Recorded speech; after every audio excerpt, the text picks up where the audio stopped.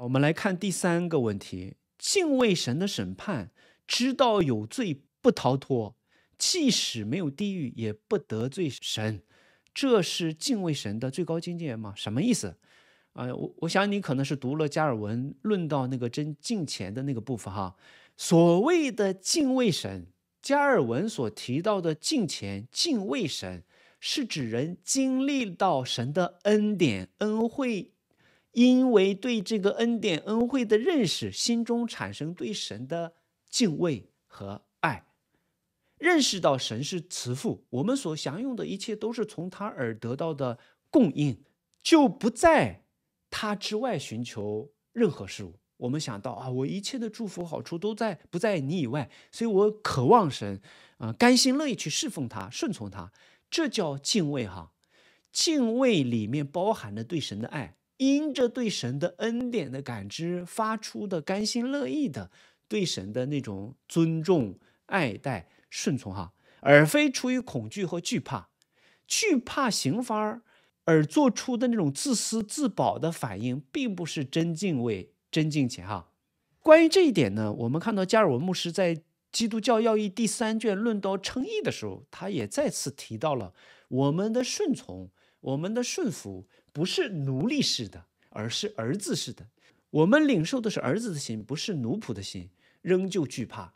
奴仆是奴隶嘛？惧怕主人，随时恐惧战惊的，小心翼翼的，怕做错事儿得罪主人。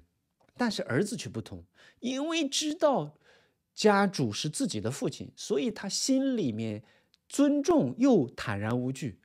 虽然甘心乐意的去侍奉父亲。但按着呃父亲的吩咐去做，但是即便做的不完全，他也不至于惧怕，因为他知道父的爱。虽然这种爱不会让他造成他放荡或者是放肆，所以这是不同的心态哈。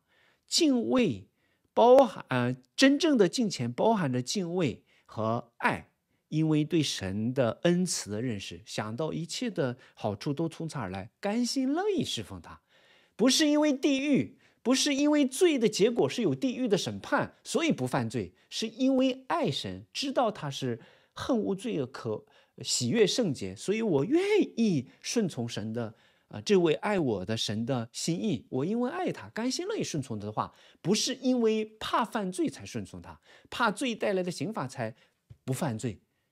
所以真正的敬虔是出于这样的动机哈，神的恩典的回应，甘心乐意的爱的。不是因为罪带来的恶果，怕这种恶果给自身带来的影响，逃避这种对自己不利的恶果，出于惧怕才不得不远离罪。其实心里面一直恋慕着罪哈，想做求又不敢做，怕后果这个可怕，不是这样哈。所以真正的敬虔是出自对神恩典的感悟认识，然后甘心乐意去顺从他的吩咐，恨无罪，远离罪。而不是出于惧怕或者是自私的考究哈。